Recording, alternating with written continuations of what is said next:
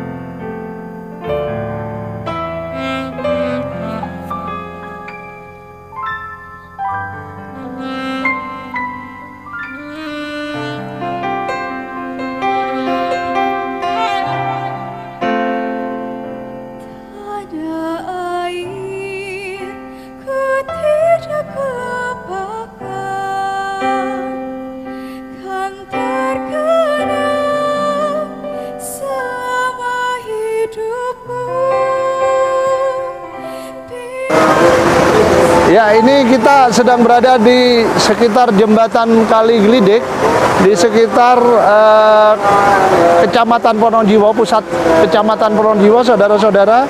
Jadi jelas uh, kalinya sangat dalam.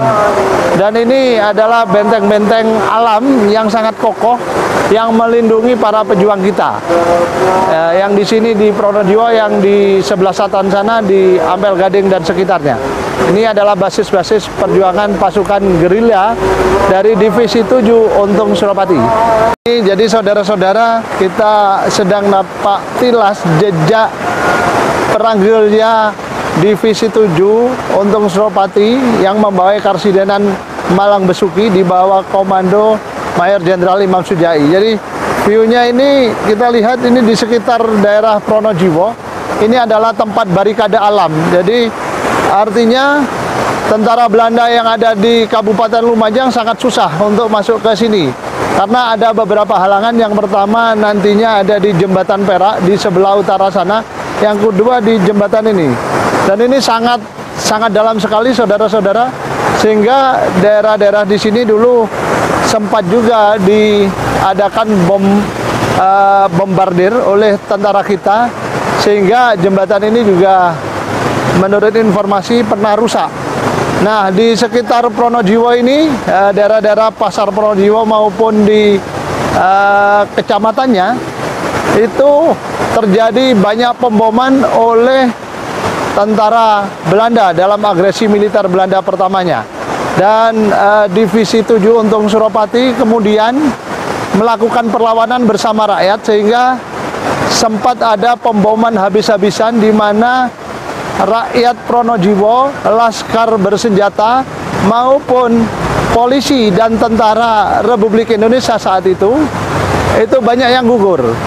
Nanti kita akan lihat di dokumen-dokumen bagaimana foto-foto jenazah para pasukan BRIMOB, ada tentara, ada laskar rakyat yang gugur dan rakyat dengan duka yang mendalam, rakyat dengan luar biasa menggotong dan memakamkan jenazah para pejuangnya yang luar biasa. Jadi eh, saudara-saudara, eh, Pronojiwa adalah basis pertahanan wilayah Lumajang yang ada di selatan karena saat itu pemerintahan Lumajang sudah lari ke selatan Lumajang dan juga basis pertahanan uh, pemerintahan Malang di Ampel Gading seperti tadi. Ini mungkin yang bisa kita informasikan. Mungkin kita akan lihat bagaimana jejak-jejak berikutnya. Terima kasih. Ya, uh, ini saudara-saudara, kita juga ada di eh, tempat-tempat uh, di mana basis pertahanan rakyat, basis pertahanan Tentara Republik Indonesia saat itu di wilayah hmm, Lumajang Selatan maupun Malang Selatan berada. Ini adalah Gunung Seriti. Gunung Seriti ini diperkirakan saat itu menjadi basis pertahanan rakyat maupun pasukan Tentara Republik Indonesia atau TRI yang bertahan dalam agresi militer Belanda pertama. Dan nantinya uh, ada banyak berita mengatakan di gunung ini pemboman hebat terjadi. Nah, saudara-saudara kita lihat ketinggiannya di lereng-lereng ini uh, tentara dan rakyat bertahan untuk menahan gemburan pasukan-pasukan Belanda. Ya, seperti itu mungkin yang bisa kita laporkan dari Pronojiwo, Lumajang Selatan. Terima kasih.